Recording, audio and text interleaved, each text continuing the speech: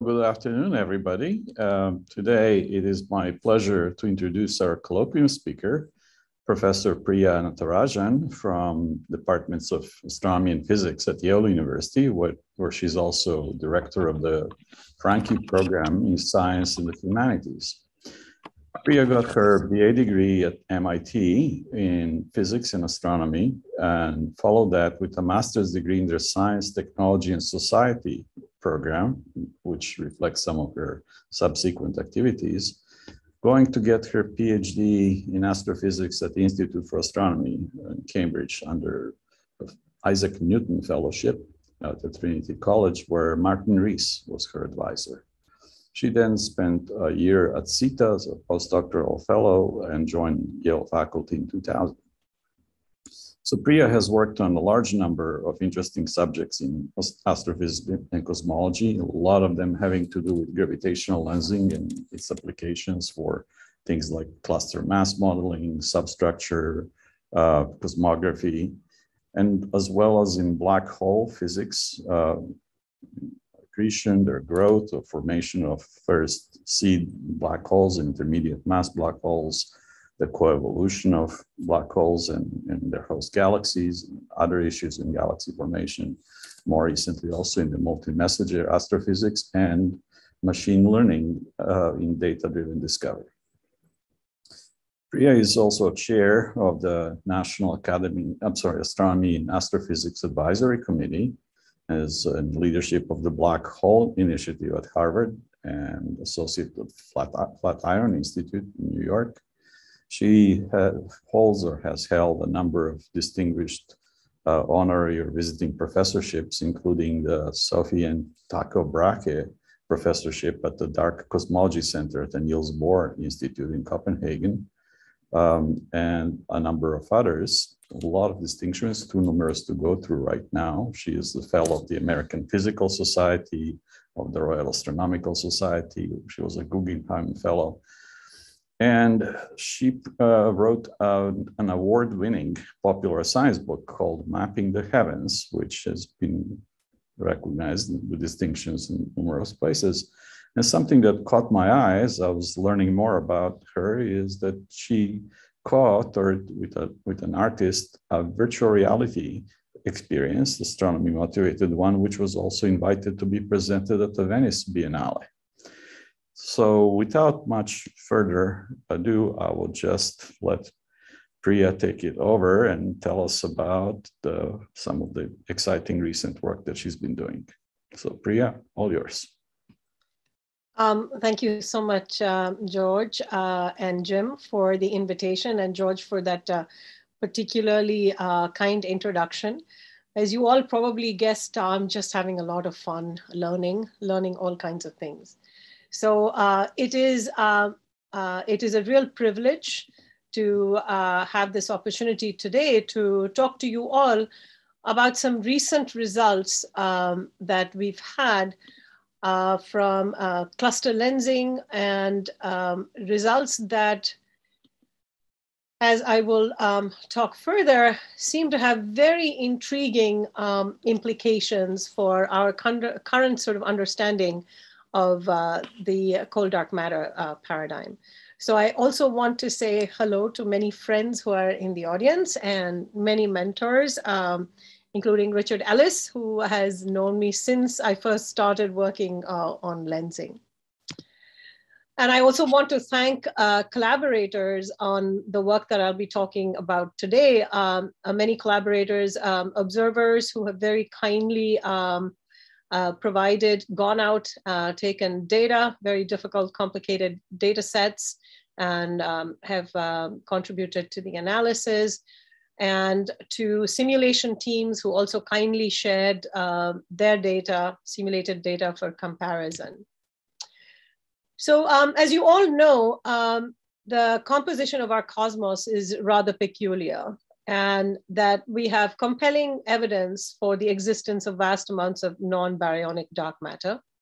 And we believe that this component is a cold collisionless uh, particulate dark matter likely formed in the very early universe. Um, till very recently, we were all fixated on one particular kind of particle, uh, weakly interacting uh, massive particles.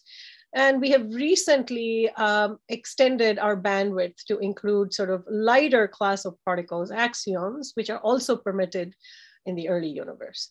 So in addition to this sort of missing component of dark matter, as you all know, um, another peculiar ingredient in our universe is dark energy, which is the dominant constituent, uh, which appears to be, once again, like dark matter. We know what it does, we don't know what it is. So dark energy um, is powering the accelerating expansion of a universe, and dark matter appears to be structuring most of the universe. So we've been very fortunate that despite not knowing the particle, the particulate nature of this uh, of uh, the of CDM, not really knowing either um, uh, its mass or uh, exactly when it is likely to have formed in the early universe, although we have epochs that uh, we know are uh, permit the formation of a particle with the right amount of observed uh, energy density today to account for the omega matter that we just saw in the pizza sliver. So um, another feature of the CDM paradigm is that despite that, we are able to actually make very detailed um, predictions on cosmic scales, um, astrophysics, astrophysical properties of an ensemble of these dark matter particles. And so in this, uh, cosmological n-body simulations have been incredibly powerful and useful tool. So I'm just showing you here a visualization of how you can start with a set of initial conditions with small fluctuations imprinted in the sea of dark matter, which then get amplified by gravity over time, and then eventually with baryons falling into the intersections of these filamentary deep potential wells created by dark matter, you end up cooling, forming stars. And I'm just going to skip over all of this because you know you have experts like Phil Hopkins, who has uh, probably indoctrinated you all already on the power um, and the beauty of uh, cosmological simulations. So the developments in cold dark matter theory essentially started from the late 70s and 80s.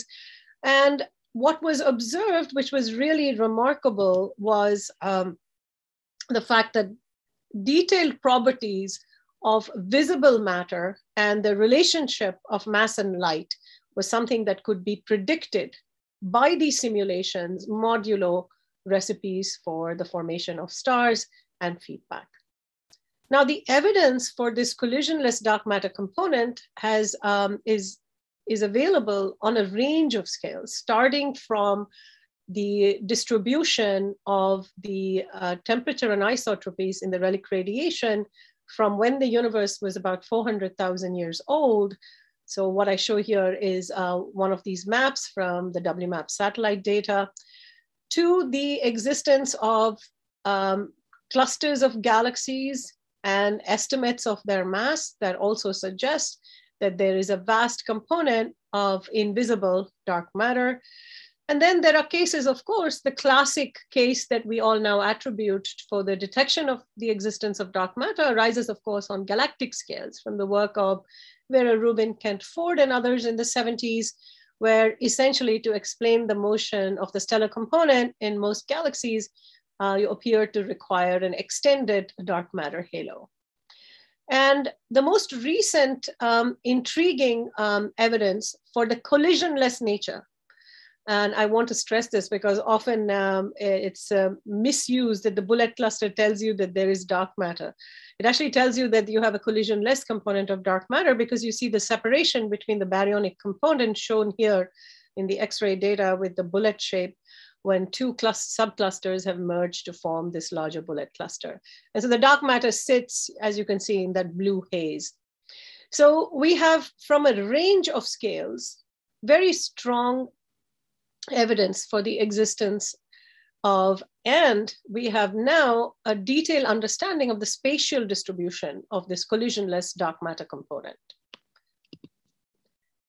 And I just wanted to show this um, because I was quite intrigued when I was trying to uh, to see, you know, how far back, of, how soon after the proposal of the cold dark matter model were people raising fundamental questions about it. And it turns out that, you know, this is a scorecard from 1990. And so some of the questions that I'm going to end with today are actually not new. They have been asked quite often, and not just because we've not yet found the particle, but even with the kind of statistical properties of structures that cold dark matter predicts and the observational data. So there have been many challenges to this cold dark matter uh, model, despite its incredible success. As I just showed you on a range of scales, there is independent evidence corroborating this idea of uh, cold dark matter. And there have been many challenges in terms of proposed modifications to the nature of dark matter. So there's warm, there, there have been warm dark matter models, self-interacting dark matter models, dissipative dark matter models, plasmon dark, I mean, the list goes on. There are some very, very interesting ones that um, I will slightly delve into later on, but most of my talk will be really focused on testing the cold dark matter uh, paradigm. As I just mentioned, CDM has been really, really successful. And not only do we have um, uh, strong supporting evidence from the uh, power spectrum uh, of the temperature fluctuation in the microwave background, but you also have now direct measurements from clustering and abundance and luminosity of galaxies uh, constraint on the linear matter power spectrum of cold dark matter. And so again, these are multiple independent observational probes across a range of scales. As you can see, this is um, on the right-hand side, the, the matter power spectrum as a function of wave number. And you know, it's really quite remarkable, the range of scales over which we have data. So all the data points there are from a range of probes, uh, cosmic microwave background, galaxies, Lyman alpha, uh, lensing, and so on. So one of the reasons for the um, for the resilient nature of this model has been the testable, very um, testable predictions that this model makes. And the fact that this model actually permits us in very interesting and simple ways to connect mass and light and offers tests of uh, how ma mass and light are related to each other. So one of the key predictions of the model is it was found by Navarro, Frenk, and White from cosmological simulations that the cold dark matter seems to settle down in equilibrium in virialized collapsed halos that separate out the, from the cosmological expansion into a universal density profile that has a very specific well-defined shape. And this is universal because it appears to hold over 20 orders of um, magnitude in, in terms of the masses of structures, collapsed masses of structures, they all seem to, uh, to be well described by this one single density profile that has a power law in the innermost regions and has two changes of slope, r to the minus two and r to the minus three. And However, despite all the successes uh, of the model, there appeared to be, as we obtained deeper data and um, many more observational probes, trouble seemed to appear on small scales. And so before I uh, talk a little bit about the kinds of troubles that emerge, let me quickly kind of flash that the nature of dark matter, although astrophysically, as I've reiterated a couple of times, that we don't have access to the particle itself and its uh, properties, um, astrophysics still and cosmic observations on these scales actually do provide some hints, strong hints on the nature of dark matter. One of them has to do with what is now called substructure, which is the amount of small scale structure that is associated with larger scale collapse structures in the universe. So what you see here on the right-hand panel are two cos uh, cosmological simulation slices at the same time with two different initial conditions, one in which the dark matter is cold and the other one uh, in which the dark matter is warm. And they are the same structure seen because they're the same initial conditions, just with uh, different particle nature. And you can see clearly by eye that there is a lot of substructure crud, if you will, in cold dark matter compared to warm dark matter, which is very, very smooth. So at some level, if we are able to, this is of course a dark matter only simulation, but if there was a way in which we could simply just count the substructure, it's very clear just visually that there has to be a remarkable difference in the number of substructures that are predicted as a function of scale, especially on small scales. And so on the left-hand side, I show you these two predictions. And so if you go low down in mass, the contrast between cold dark matter and warm dark matter starts to emerge quite dramatically. But on fairly large scales, they look very, very similar. So we, one has to really push down to lower mass scales. So we've had a wave of crises in cold dark matter. and I'm going to focus on two that are most relevant to what I'm going to be talking about today. And those are the missing satellite problem and the cusp core problem. I mean, there have been other sort of uh, problems and challenges, and there have been some very nice reviews uh, that I can uh, suggest for you to get more details. And the, of course, you know, um, it is not lost on anyone that uh, we've had much discussion in cosmological circles that we may have some more fundamental issues too, uh, beyond just the cold uh, dark matter uh, with the standard cosmological model, as we recently realized that the um, estimations of the Hubble expansion from the nearby universe and the distant universe are discrepant, are discrepant nearly at five sigma. Now this is, you know, has been touted as the new, uh, the latest crisis in cosmology. And, you know, uh, one can devote an entire talk to that. I am not going to be talking about that uh, today. So uh, coming on to the cusp core problem. So where this problem emerged and manifested was on small scales in the internal structure of, uh, of halos. And so here what you have uh, is the density profile of a low mass galaxy, a dwarfish galaxy, where in the dotted line, you see the prediction from the Navarro-Frenk White profile. And the data points show you that this profile actually appears to turn over and there appears to be a core rather than a power law cusp in these galaxies. And this is not just one individual galaxy, but it turns out that these are very small scales. So we're talking about sub-parsec, uh, sub-kiloparsec, sorry, scales where the resolution of simulations is kind of limited. Um, and the centers of galaxies are actually sort of complicated by prescriptions used for feedback, star formation, black hole activity. And it turns out, you know, observations were also challenging, but we've been able to push down and this really does appear to be um, a discrepancy. However, um, in order to explain this discrepancy, the flattening of this power law um, called dogmatic cusp, it was argued that uh, potentially uh, there are there are permitted sort of weak self interactions which kick in at uh, at very, these very high densities in the inner parts of these halos, and so you start to flatten and form a core. So the nature, an alternate nature for dark matter, the self-interacting dark matter model was proposed. However, it turns out that this tension resolved when baryonic processes were better modeled in simulations. So simulations were actually able to produce uh, cores. So by and large, um, I think, in my opinion, and in uh, the opinion of most cosmologists, the cusp core problem is largely solved. So that crisis in cosmology was averted. So I want to point out that that crisis had to do with the internal structure of halos, uh, the detailed internal structure. The, one of the other crises had to do with the abundance of subhalos. So this has to do with really the number. And once again, this was on uh, small scales, and this was the so-called missing satellite problem. So once again, what you have here is cosmological simulations have a prediction, a cold dark matter has a prediction for the number of satellites that a halo, a, large, uh, a larger dark matter halo of a given mass, the number of lower mass satellites it should, um, it should contain. So here you see in the dark uh, curve, the solid curve, those are the predictions from simulations.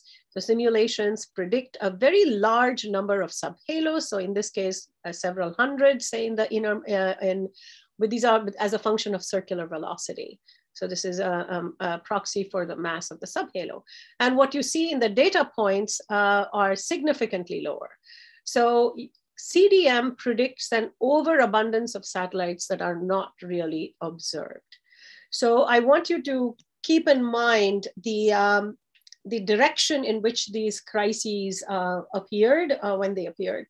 Notice that in the inner structure, density structure of um, the cusp, uh, cusp core problem, cold dark matter predicts a steeper slope and in reality, you see a flatter slope.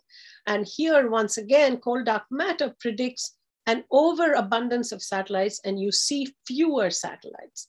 And it turns out that this problem obviously was, you know, for the local group, um, uh, the data are for the local group. And so um, you can imagine that once this abundance mismatch got resolved when fainter satellites were detected, and when simulations, once again, the treatment of baryonic processes in simulations was improved. So once again, it would be fair to say there are no missing satellites because they were just fainter satellites that we have now found.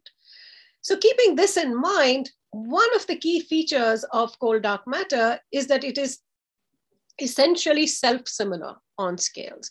So if indeed one of these problems was truly endemic to CDM, we should see this reflected on the next mass scale in the hierarchy because it's a hierarchical model uh, in, uh, of structure formation in CDM. You should see this reflected in the next scale of the mass hierarchy. And the next scale, so we've been talking about galaxies, and the next scale in the mass hierarchy are clusters of galaxies. And so um, much of my talk from now on is going to involve uh, studying the detailed structure of uh, cluster galaxies, galaxies that are members of these largest repositories of dark matter in the universe, and how they match up with when you confront them with simulations of cold dark matter. And um, in particular, I will be focusing on the very powerful technique of gravitational lensing, which is going to allow us to map structure on small scales within clusters. Before that, for those of you um, who don't normally work on clusters, here's a, just a quick uh, primer of what really uh, clusters are about.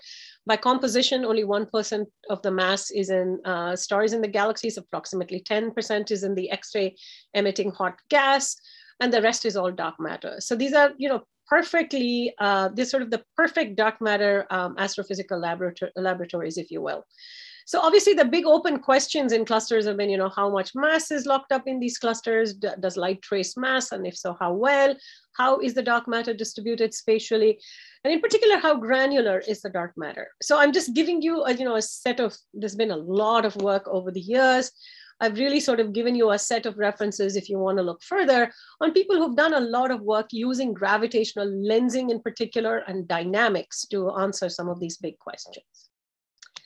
So I'm going to focus on uh, using gravitation clusters as gravitational lenses to map their uh, granular distribution. This is just a quick schematic to remind you all of one key feature of lensing is you have a distant population of sources. In this particular case, I'll be talking about distant galaxies. Of course, these sources could be quasars too.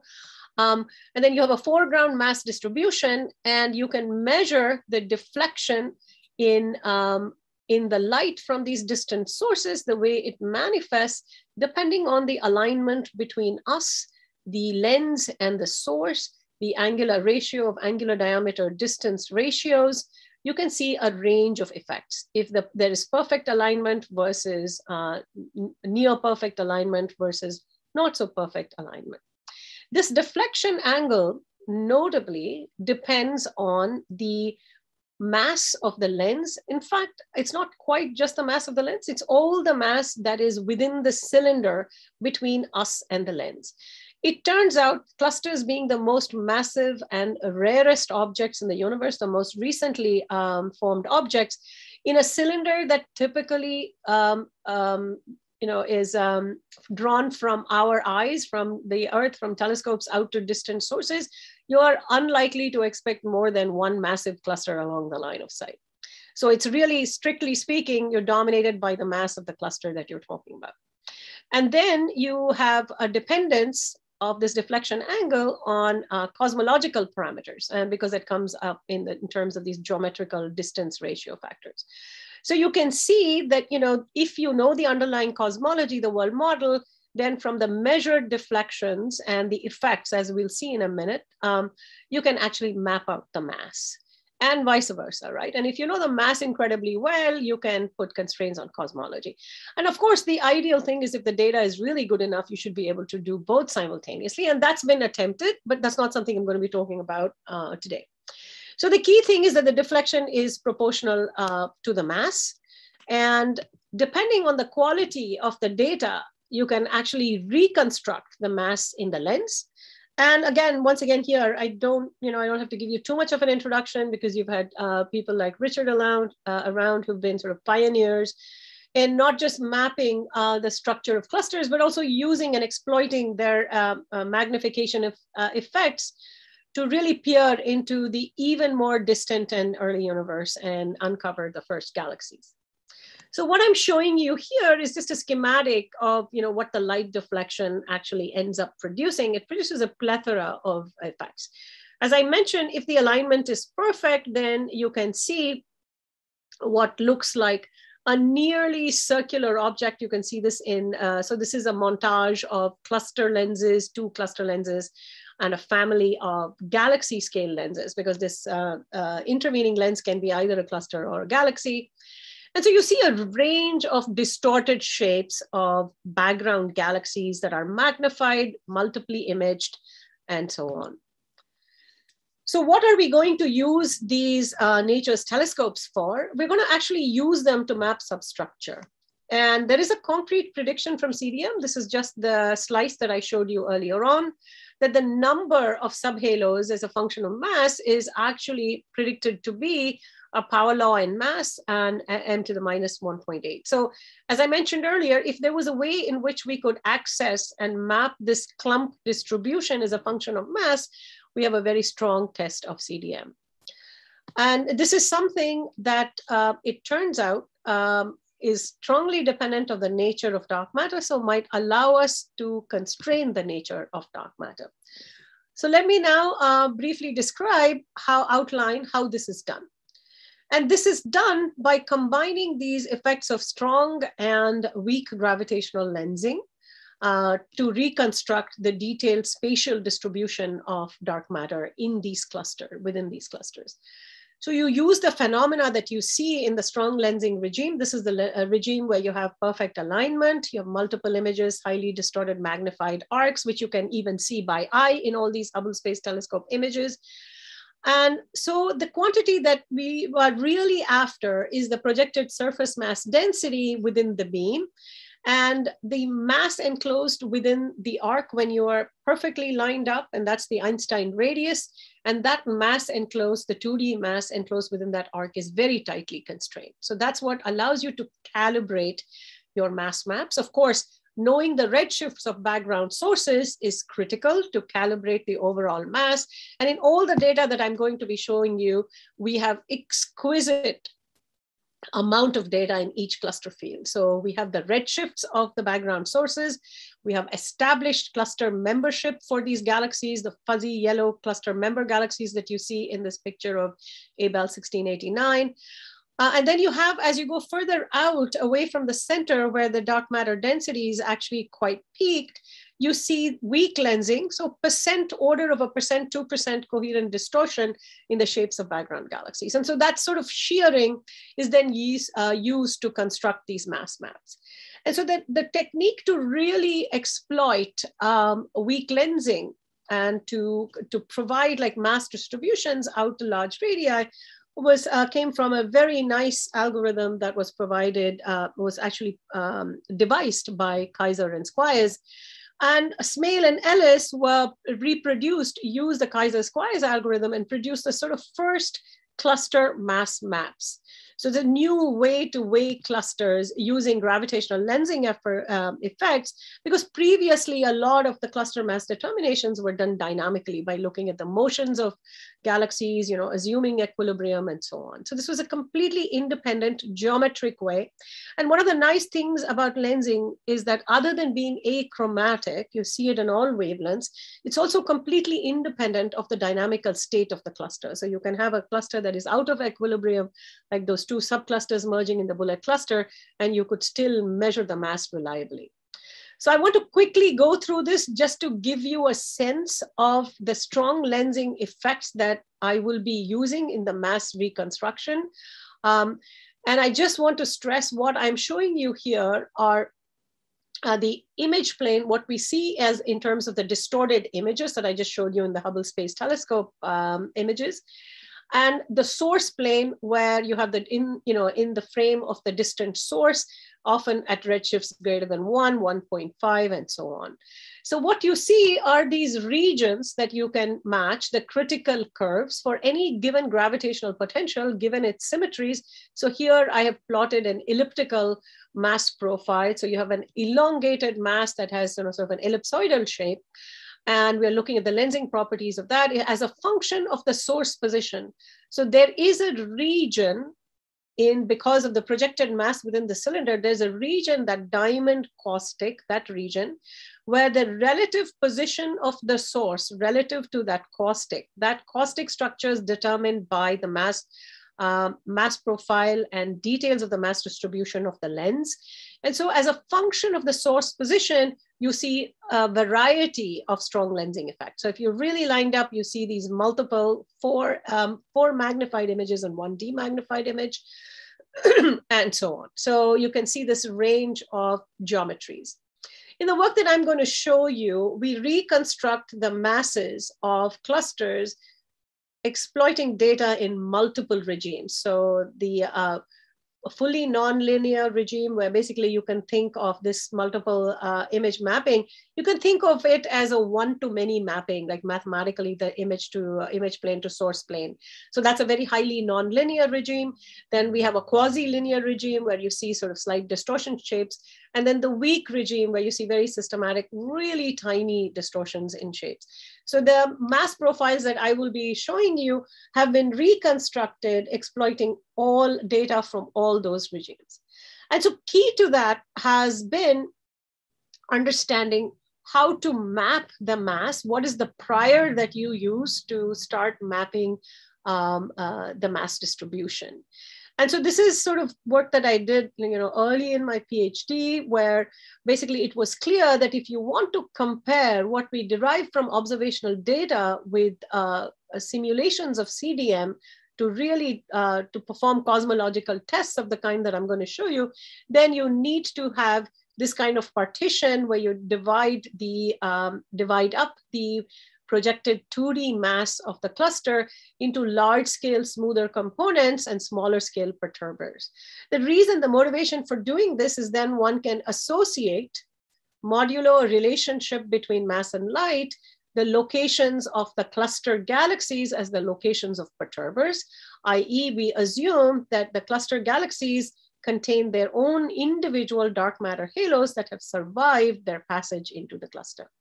So if you partition the mass this way, use the observed um, uh, strong and weak lensing data in conjunction, and you map out the caustic. I showed you the caustic was nice little diamond in that theoretical case.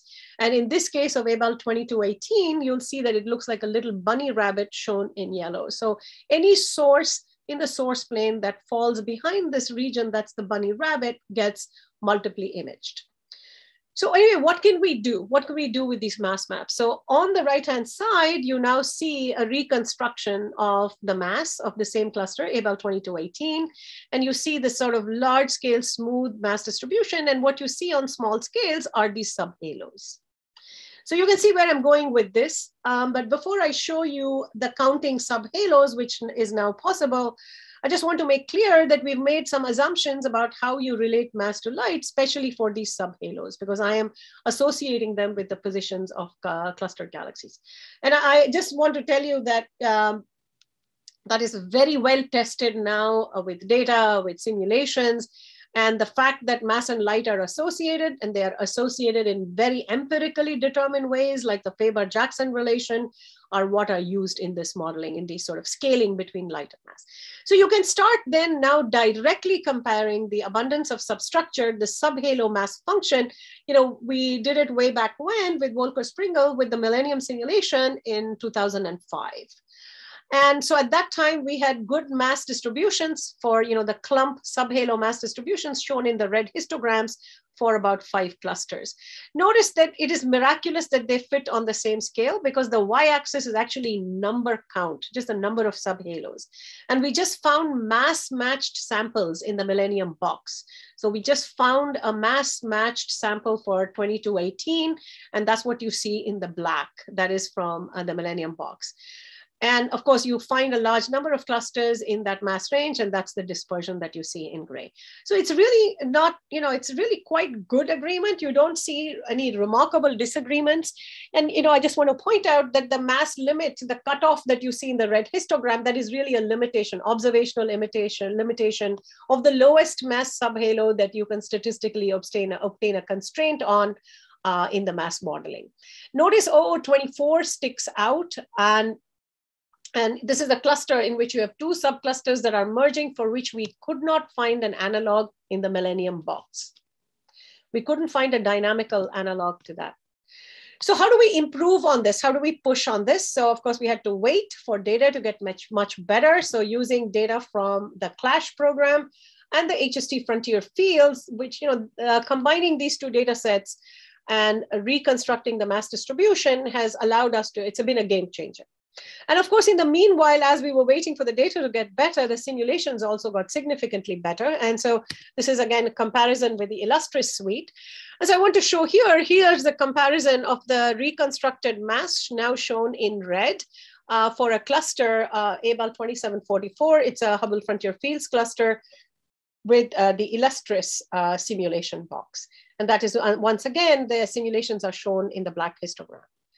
So it's very intriguing. Again, the match, uh, notice that the y-axis is still, you know, it is left free. So it, I found it quite miraculous, I have to say, that the number of subhalos, they actually fall on the same plot and uh, that they agree incredibly well. However, you may notice, although I have not shown you the full error bars in the observationally determined uh, uh subhalo mass function, notice that there uh, is something intriguing that appears at like 10 to the 11 solar masses or so. It's going to be relevant a little bit later. So 27, I just want to show off a little bit. So this is, um, you know, one of the highest resolution dark matter maps of a cluster that's ever been produced. It was produced by our group um, or this is for 2744. Uh, you can see by eye the large number of subhalos that you can see as little peaks. So you can see a lot of the lenses that are embedded within your small scale lenses that are embedded within these large scale, uh, with this large scale cluster lens. However, we can we could do a lot more in terms of interrogating the CDM model here. And so we started looking at the radial distribution of subhalos for these mass matched uh, simulated clusters. And here we saw some first signs of tension between cluster lenses, um, uh, ob observed cluster lenses, reconstructions, uh, and uh, cold dark matter simulation. So I want you to focus again on the red histogram. This is Abell 2744. Notice that the subhalos in the real universe, in the real cluster, are concentrated towards the center. This is a plot of number as a function of projected radius. And notice the simulations are all the gray and the black um, and the cyan uh, um, uh, histograms. There's a real discrepancy, there's a real deficit of halos in the inner region. So, you know, we thought that was very intriguing and that uh, needs to be followed up. And so what we did was follow up with spectroscopic data from MUSE on VLT to tighten the lensing mass models. We said, let's go and get redshifts for as many background sources as possible, build the best possible mass models that we can. And then we said, let's start looking because the data is now so good that we are able to detect these lenses, uh, small scale lenses that are embedded within the large scale lens. So each little subhalo, many of these little subhalos actually are critical. They're, uh, you know, they have Einstein radii, they have the capacity to produce their own strong lensing images. So uh, then we then we realized that there was a very interesting new metric that we could come up with that were offered a real uh, stringent test of the internal structure of these subhalos. And that is the galaxy galaxy strong lensing cross section. So it is the lensing efficiency of these individual lenses that are embedded within the large scale cluster lens their capacity to produce strong lensing uh, images. And of course, why did we come up with this metric? Because as it turns out, the data was so good that we started seeing these strong lensing features, which I'm not sure Zoom probably allows you to see very well. But you know, I have all these little uh, thumbnails that show you these um, strong lensing features that are actually produced by clustered galaxies. So around the subhalos, you see a lot of strong lensing features. So what they do produce, if you remember from my little lensing primer, is that these subhalos produce their own little diamond caustics, okay? And so we came up with this um, metric, the probability of galaxy-galaxy lensing, which is really just a sum of the areas in these caustics in the source plane.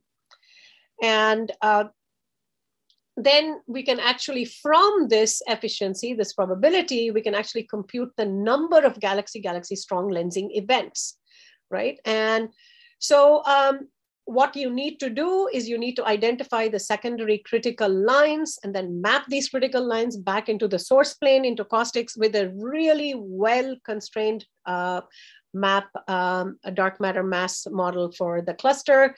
We are measuring the area enclosed by these caustics, and then we obtain this cross section by summing up the areas. So now I just want to show you how this has been done. So here is the cluster M1206. The top uh, panel is a real cluster. We have a really um, very, very good lensing model where the prior, so, you know, as I mentioned, the MUSE data, one thing you get in MUSE, it's a multi-object spectra, it's spectacular. It's like an incredible instrument, right? So you get uh, spectra for everything in the field. So we were able to measure the velocity dispersions, the central velocity dispersions of clustered galaxies. And they were now used as a prior in the lensing model. Okay, so that removed much of the dependence that we had on the assumed scaling relations that you saw earlier, right? So now you go into a simulation, into a cosmological simulation, and then you identify a cluster, a mass matched cluster that produces a similar Einstein radius from the large scale distribution of dark matter. Then you can go ahead and say, okay, I have now found a lens, an equivalent to the lensing power of the overall lens. And now I can drill down into both the simulation and the mass model and compare the small scale lenses and their lensing power. So you can go and then look at all the caustics, the, uh, reproduce the caustics, sum up the caustic areas. You can already see by eye there's a real problem here. You see a lot of red little caustics, the secondary caustics are showing up for the real mass model for this cluster in the universe. And the simulated mass matched model has very few caustics of the same size. Can just by eye, you can see they're much smaller number uh, and much smaller sizes of the secondary caustics. Okay, so uh, so that was not just for one cluster. So a couple of years ago, we published this paper in Science where we had 11 clusters from these two uh, surveys. We compared that with simulated clusters. And here is a galaxy-galaxy um, uh, lensing probability as a function of source redshifts. As I showed you earlier, remember there's the source redshift matter. So this is a function of source redshift. And in orange, you see the prediction from cosmological simulation. So it's discrepant by an order of magnitude. And remember, this metric is very sensitive. The galaxy-galaxy strong lensing uh, cross section, which is really that the secondary caustic area is very sensitive to mass enclosed on very small scales, very small apertures, you know, a couple of arc seconds. So which is roughly five to 10 kiloparsecs. Okay? So what are we finding? What does this mean? It means that the inner regions of clustered galaxies in the real universe are, uh, are much more concentrated and are hence much more efficient strong lenses than uh, CDM uh, simulations predict. You might say, well, you know, how, how reliable have you, sorry, uh, have you done all these tests? So I will, you know, I just mentioned that, you know, we did all these sort of obvious tests, you know, are these, are these representative of clusters? Are these cluster lenses we've studied? Are they somehow all freaks? Um, and so we've tested for that. Um, uh, or do they have any particular, um, are they biased in terms of their shapes, uh, um, etc. So I, you know, you can uh, you can go take a look at the paper. We did an exhaustive set of tests, including resolution. And so we, the simulation resolution, right? So when we changed the resolution of the simulation by a factor of 10, we really did not find any difference really. The only thing that seemed to make a difference, and that you see in the stop panel, is that if there was absolutely no AGN feedback in these simulations, which means that you have other problems. So AGN feedback was really introduced to resolve this overcooling problem in which basically uh, gas uh, falls into the centers of uh, halos and subhalos and too efficiently form stars that are not seen in the universe, right? So um, you overproduce stars because you are not able to stop the coolings. To halt the key, uh, cooling, you needed sources of energy injection and AGN feedback along with supernovae for which is more important for lower mass galaxies and for the kind of galaxies I'm talking about here, AGN feedback was invoked. So you can see that if you don't have any feedback at all, then you can kind of reproduce the observed GGSL. So clearly the AGN feedback as it is being implemented is rearranging the mass in the inner regions of subhalos. And, um, and they don't match the real universe. So, you know, you can ask, you know, possible reconciliations and how could you resolve this order of magnitude discrepancy?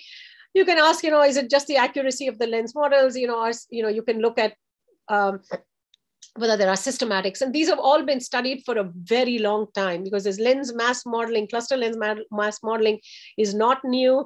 And, you know, our understanding of the errors, um, we have a very good understanding of the errors, both the systematic errors uh, um, and, the, and the random errors. And so can this, and then you can ask in the simulations, right, is the problem that is a some, you know, simple numerical artifact like just numerical simulation? I'll show you again in continuing work, we are able to show that is not the case. Or is it artificial disruption of subhalos or somehow um, and you know this uh, this has been suggested, and it turns out that this is only this can resolve and account for about a factor of two at most. We are talking about an order of magnitude gap. And then are there selection effects and maybe the simulations are not comparable to observed clusters. And I just shown you, we've already tested for that. And so, you know, we, um, we are of course still continuing to do detailed comparisons. So, you know, other simulations seem to have the same problem, not just the ones that we happen to use for comparison.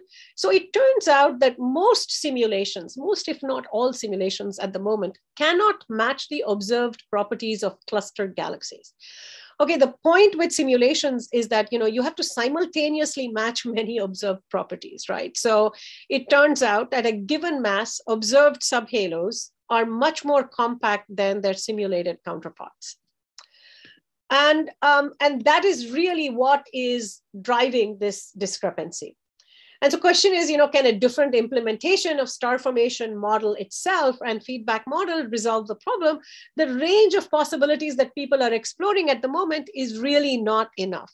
So there was a premature claim from people um, uh, running the hydrangea simulations that, oh, we've resolved this discrepancy.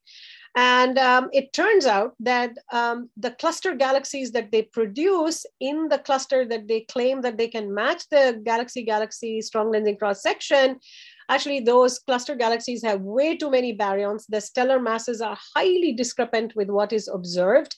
And the caustic sizes that are needed to contribute. So as I told you, the primary contribution to the galaxy-galaxy strong lensing, the secondary caustics, right? There's a very characteristic scale that of about two arc seconds, the Einstein radii of those subhalos that are contributing to this cross section are approximately two to three arc seconds.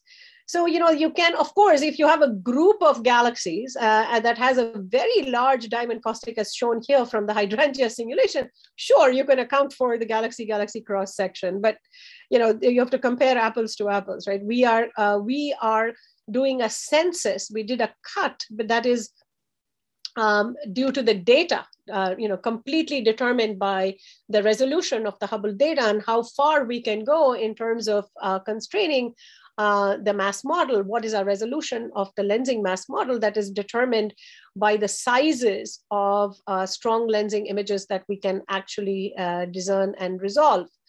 So in our models, the largest lens models for observed clusters, the largest contribution to the cross section comes from subhalos with masses that are approximately um, 10 to the 11 solar masses. So um, this is just um, uh, showing you again that the, the sub uh, secondary caustics are shown here in yellow, and that is sort of what we are adding. And one can argue that you have to be very, very careful about the region within which you are doing this counting. right? And so we have very well defined cuts, and um, and we urge anyone else who is doing simulations to actually uh, make the same cuts uh, and compare with, with our observations. So here is a clear demonstration of what I've just been saying, right? So if you look at uh, the cluster MACS J1 um, uh, J1206, so here are um, here is the distribution of in blue, you see the distribution of um, the subhalos that are contributing the GGSL cross section as a function of Einstein radius. So the contribution in the lens models from the real universe is the blue histogram and the contribution from the hydrangea case, which I uh, mentioned was prematurely argued by Robertson and Bahe that they've resolved this problem. This is the distribution of Einstein radii notice that they do not match what is seen, right? So they are actually including this big group that makes the bulk of the contribution to the galaxy-galaxy strong lensing uh, cross-section. This is just to show you another view. So the simulations, so this is where we are with our follow-up work and, the, and this discrepancy persists. So what you see in the black histogram is the from the observational data set from our models, the distribution of the Einstein radii of the sources, the subhalos that contribute to the galaxy-galaxy um, uh, uh, strong lensing cross section. And what you see in dashed are the simulations, and these are simulations with varying resolution. So we're just in the progress of writing this up and showing that, you know, the resolution, just saying, uh, you know, just improving the resolution of the simulation is not going to solve this order of magnitude um, discrepancy. Remember, I've made the case that you know if a problem is endemic in CDM, then it should start getting reflected uh, on lower scales. So the, you may ask, is there a similar problem? So here we are finding uh, a problem in a cluster environment that went in the opposite direction to the cusp core problem.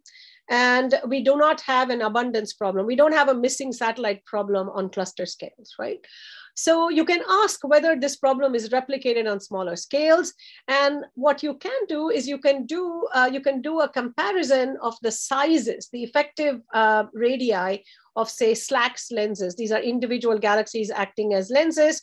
Um, a lot of work has been done by Tommaso Treu and his group on this. So if you use that data and compare that with simulations, you once again find that the um, simulations cannot really reproduce mass matched cannot really reproduce uh, the distributions, the effective radii observed for individual lenses. And so there's been very nice work that's going on on galaxy-galaxy lenses, um, on um, isolated galaxy galaxy lenses which are not in the cluster environment i just wanted to give a shout out to the various groups around the world that are doing very very nice work um, trying to constrain the uh, subhalo mass function, the amount of substructure, and tie that to the expectations and predictions from various uh, dark matter models. Okay, so where does that leave us? So we have only two possibilities left. So we either have some poor understanding of the interplay between dark matter and baryons in cluster cores that goes in the opposite direction to what was found uh, earlier in the cusp core problem on small scales, which remember eventually went away. Um, or there are some deeper problems with the CDM paradigm. So, you know, something we are missing in the simulations in putting in the interplay between dark matter and baryons in the inner regions in very dense environments. Maybe we are missing something. Or maybe there's something about the CDM paradigm itself, you know, the collision-less, assumed collision-less nature of dark matter that may be. And so these kinds of gaps are very, very important because, you know, if you interrogate what is a standard paradigm, then and you find a gap, then it can either portend refinements or revisions, or it can actually point the way to something really radical, uh, radically revisionist. You know, this is the case for those of you who are history uh, history of astronomy buffs. This is very much like the case for the Uranus, uh, the case of uh, the discovery of Uranus and Neptune, where there was just you know um, Newton's laws were intact, and you just found Neptune, which perturbed, and the mismatch with Newton's predictions was uh, explained away away with the finding. uh, with the prediction and finding of Neptune, whereas when the same argument was applied for the precision, uh, precession of the perihelion of Mercury and the uh, potential existence of an inner planet called Vulcan was proposed, remember there is no Vulcan, right? And that uh, precession needed um, a complete reformulation of gravity of Einstein's GR to explain. So you never know when you find a gap, which for me, that's what is exciting. You don't know which of these two cases uh, we have really encountered. And of course, the data from upcoming space missions, um, you know, all these observatories and missions will really help us. Meanwhile, um, recently figured out that, you know, people have often uh, crit- uh, you know, criticized me for, you know, working on these two big different problems. You know, I should focus and work on one problem instead of, you know, just focus on black holes or just focus on dark matter. It turns out that I'm able to perfectly marry these two uh, interests, these deep interests, um, into this one very intriguing and surprising uh, alternative dark matter. As I said, right, there are all these uh, warm, self-interacting, double disk, dissipative dark matter that have been proposed.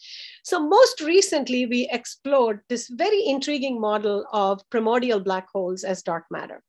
So this has come into vogue. It was originally proposed by Hawking and Carr, but it has come back into vogue when uh, Simeon Bird, uh, and others tried to explain the 30 solar mass LIGO black holes, stellar mass black holes, as potentially as a primordial population, all uh, you know at 30 solar masses. There have been much more refinements in that picture and understanding. So there was a recent prediction of a potential birth mass function for these primordial black holes. And it turns out that if you um, these features are produced by you know phase transitions in the early universe and they have characteristic masses it turns out that in red you see the primordial uh, black hole mass function peaked at about one solar masses. So this is the fraction of uh, primordial black holes that contribute to dark matter as a function of black hole mass. So we explored this scenario. And so if all of dark matter is made of primordial black holes of various sizes, so here's a little visualization of what a halo might look like. So if you want to look at details, you may, um, I, I, will point you to this paper, a recent paper with Nico uh, Cappelluti and Gunther Hasinger. So an intriguing thing that we found was that, you know, Gunther and Nico were really interested in using uh, this model to really explain a long uh, standing conundrum of an observed excess in the cross correlation of the X-ray background and the infrared background on sort of arc minute scale. So there's an excess that we've really not been, had not been able to uh, excess power that one couldn't explain uh, with uh, any, uh, you know, any set of population, you know, high redshift, low redshift, just couldn't really explain. But it suggests that there is accretion power hiding somewhere in the universe tucked away. Um, and to give you this precise signature, we found that these PBH um, uh, dark matter halos uh, this model actually is able to fit that conundrum, but then it makes some interesting predictions. And the predictions is that in such a model, you basically form galaxies much earlier because, you, and you form accreting black holes much earlier because they formed primordially, and they condense into halos much earlier than in CDM. So you have a larger number of sources. So if JWST looks and just does um, you know number of sources as a function of magnitude you really should start seeing a much larger number of sources so this slope in just the number counts as a function of magnitude will be, uh, you know, a, a sort of a strong test of this model. And in about two years, you should be able to get down to uh, those number counts. And you know, I'm very, very excited that you know this model uh, can actually be uh, uh, ruled out. So uh, let me just stop here and um, you know stop with the aspiration, right, which we all want, is uh, Fixion. We want this new particle that explains everything. And this is an XKCD cartoon that I like. And I've just added the GGSL excess here. So let me just stop here. Thank you so much for uh, listening. And I look forward to your questions. Thank you, Priya. This was wonderful. So we invite questions. Kindly raise your hand under the reactions in the bottom of your screen. Okay, Ranga, please. So I thought the uh, number one argument against having one solar mass black holes, primordial black holes being responsible for the dark matter is you would have seen many more events with Macho. And that placed pretty strong constraints yeah, yeah. on how many such black holes there are, and therefore they, they couldn't account for all the dark matter. Then there was the other point, which so that's for one solar mass black holes, but there's also the consideration that if you have lower mass black holes, you know, a few times um, 10 24 grams or so, um, those would produce Hawking radiation and should contribute to the gamma ray background. And we don't see that strong anisotropy in the gamma ray background. So those were the two arguments against having really low mass black holes or even one solar mass black holes. Any thoughts yeah. on that? Yeah, so it turns out that the spectrum that I showed you, right, is consistent. Those bounds are not as stringent and they are not as strong. And that the model that I showed you actually is consistent with those, it turns out. I'm surprised by that, but okay. Yeah and, and I think that the um, uh, yeah I should just point out that the you know all primordial black holes being 30 solar masses that cannot contribute more than 0.1 percent or so of the dark matter.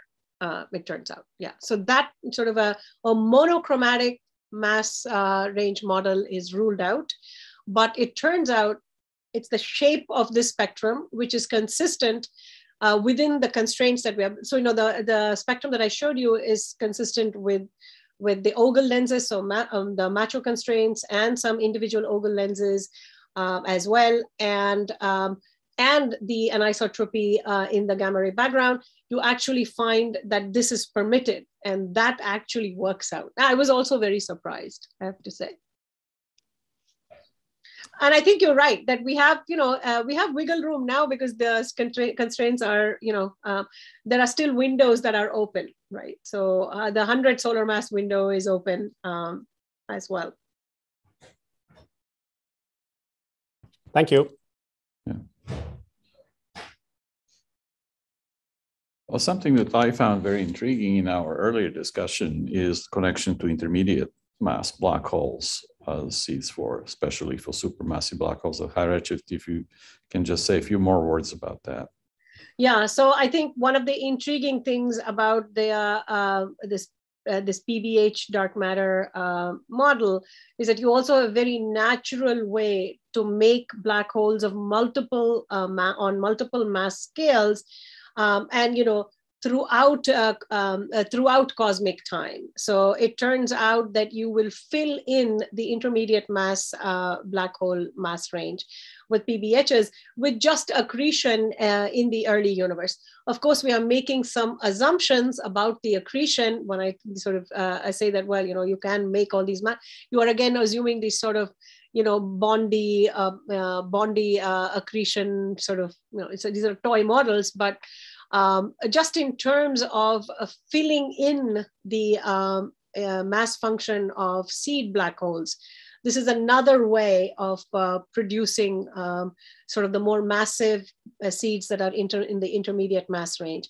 But you know, as you know, there are uh, we now, you know, uh, many of us have been exploring multiple other ways, even within the standard cold dark matter model, uh, to make uh, intermediate mass black holes. For example, nuclear star clusters, you know, treating nuclear star clusters as cocoons in which you could uh, early gas-rich nuclear star clusters, even late in nuclear star clusters at late times. So throughout cosmic time, they could save, serve as incubators where basically you have um, you know wind-fed accretion of a wandering random walking uh, black hole remnant that gathers mass and eventually settles to the center. Depending on the amount of gas you have you could truncate that process and produce black holes of different masses you know 100 solar masses 1000 10000 uh, and so on. So i think that you know ma- intermediate mass black holes have been elusive for two reasons. I think observationally we've been looking at the wrong places for them. And, and I think the off-center, you know, uh, Dacheng Lin's sort of uh, X-ray observed off, off-center um, intermediate mass black hole is one such case. And I think it turns out that when we look at all the accretion uh, models and you do this growth history over cosmic time, you find that that mass range is actually fairly short lived, uh, so to speak, because it corresponds to the uh, epochs characteristic epochs in the universe that are still gas rich where you can accrete and grow fairly so you grow out of the IMBH uh, mass range fairly swiftly. You don't linger around in that mass range and you really grow swiftly. I mean, those two things I think um, can kind of explain. I think for me, what is intriguing with the PBH model and so on is that, you know, regardless, right, in any universe, PBH universe or CDM universe, there just seem to be many, many more, there seem to be black holes everywhere. I mean, there seem to be many, many more black holes than we um, originally believed we had a census of. Great. Um, any more questions for Priya or comments? Gosh, have I stunned everybody into silence? Can I ask one more? Yeah. Yeah. Okay, sorry, I didn't mean to hog the uh, hog the questionnaire. But... Not at all. I seem to have stunned everybody into silence, so much appreciated. Yeah. Go ahead. Um, regarding the uh, how to get more black holes. I mean, the easier way is to just change the IMF. Uh, I mean, it's yeah, sure, absolutely. It's trivial. You, you you get more black holes than you know what to do with if you change the IMF as a function of metallicity. Um, so I don't think that's you the mean, argument. You mean in the early universe, right? Yeah, so, you make it more top heavy and put it as you know low metallicity galaxies have top heavy IMFs, and you get way more 10 to 50 solar mass black holes yeah so I, i'm not sure that's the argument for having primordial black holes. What do you mean that uh that you mean just that to, to get more of these tens of solar mass black holes. Oh i see i see. Okay no fair point fair point. It's just that i think we may i mean we may that i mean we'll wait to see right with more LIGO events. I think we may run into some intriguing um, um, you know, we might actually find an overabundance, right, um, uh, compared to what all the models are predicting. We need, we need to wait for one more run or so and see. The other interesting thing you said was, I mean, if you had no AGN feedback, you were able to get much better matches with the subhalo population. But how about if the AGN feedback were more directional, right? It doesn't have to be in 4 pi steradian. If all the AGN feedback was much more strongly beamed in, say, collimated jets or whatever, then would that help you um, match Likely. things much better? Yeah, th- that's a good question. You know, and if Phil is here, I would be happy to hear um, uh, what he has to say about how it's actually implemented. It's implemented in different ways um, uh, in um, uh, uh different simulation suites. But I think you're right that it's isotropic. And clearly, what the AGN feedback is doing is rearranging and moving baryons out, moving many more baryons out of the inner region somehow, because these AGN feedbacks now have these very large range outflows, uh, large scale outflows in these simulations. And um, uh, quite possibly collimating them somehow um, might help uh, in alleviating. But I think essentially there's something not quite right, I think, with the energetics and the efficiency um, of uh, AGN feedback as, uh, as it's implemented.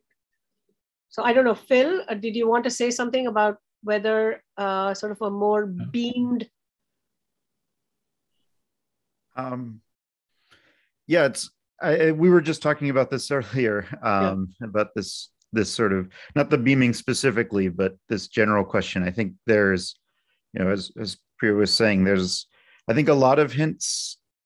You know, this is more indirect, but but also just from the gas properties in groups and clusters that a lot of the implementations of AGN feedback are, are acting too violently on the intra-cluster medium. Uh, you know, the simplest way to quench is to just violently eject everything, right? And uh, it gets you nice red galaxies uh, and quenching, but it, it's not what nature seems to do. So I agree that there's something and most of the models lean towards that you know uh you know we're exploring some things ourselves other groups are. I don't think that somebody's got a model that looks perfect compared to those observations let alone these yet.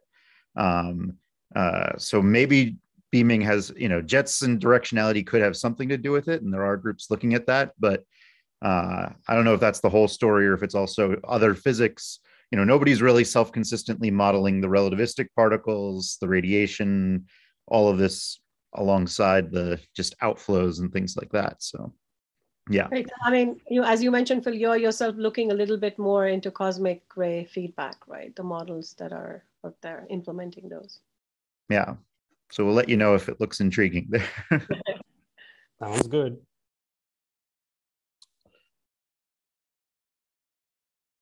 Well, um, if there are no more questions, which we should thank Priya again and let her go to her well-deserved dinner. um, East Coast. I will also point out that she has kindly agreed to come and visit us in person once the whole pandemic stick dies down a little bit. Yeah. Hopefully later this year. And uh, we'll have plenty of opportunity to talk to her in person then. Yeah. So, thank you so thank, much. thank you, thank you, Priya, and thank you all for coming. Yeah, thank you everyone for um, uh, meeting up and chatting one-on-one as well. It was really good fun. All right. Yeah. Good night. Yeah. Bye. Thanks, Priya. Bye. Bye. thank you Yeah, thanks. Bye.